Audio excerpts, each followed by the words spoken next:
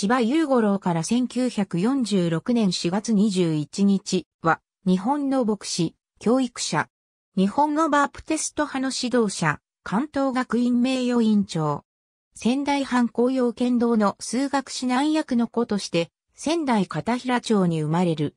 県立尋常中学校在学中に E.H. ジョーンズ宣教師の聖書研究会に入り、入信する。1890年、20歳で横浜心霊協会で川勝哲也より心霊を受ける。東京英和学校英語師範科で学んだ後、1893年にアメリカへ留学し、コルビー大学、ロチェスター神学校で学ぶ。1898年に帰国し、1899年より四谷バプテスト教会牧師になり、1905年には巡回牧師になる。なお慶女学校、東京学院、同志社女学校の教頭を歴任する。さらに福岡神学校校長在任中、1910年に日本バプテスト神学校が開校され、教頭に就任する。1918年、東京学院の院長に就任する。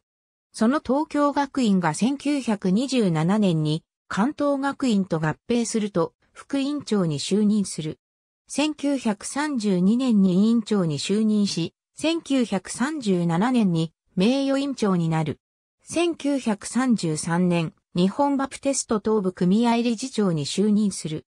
1940年、日本バプテスト西部組合と日本バプテスト東部組合が合同して、日本バプテストキリスト教団が創立された時に、通りに選ばれた。